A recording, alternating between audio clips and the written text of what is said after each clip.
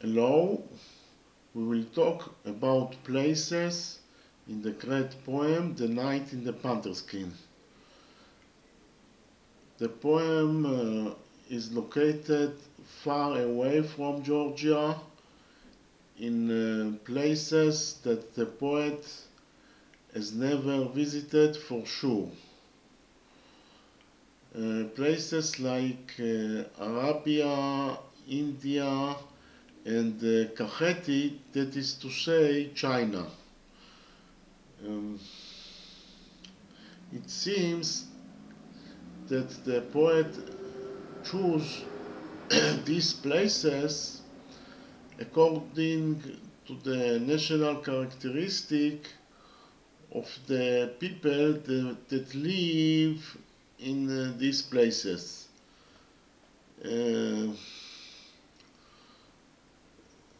the Arabs are portrayed as rational, that is uh, the reason that he chose Arabia. Conversely, the Indians are more emotional and uh, that is the reason that he chose India. Uh, other places uh, like uh, or the country of Kaj demons are imaginary. Another place, uh, Gulansharo, uh, or the kingdom of the seas, is uh, might be Venice uh, in Italy.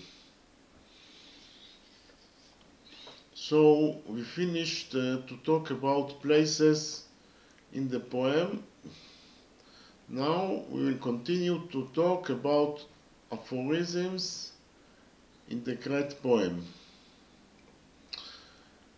An aphorism is a concise saying that expresses a general truth, a principle, or an observational uh, diagnosis that is said in a laconic manner.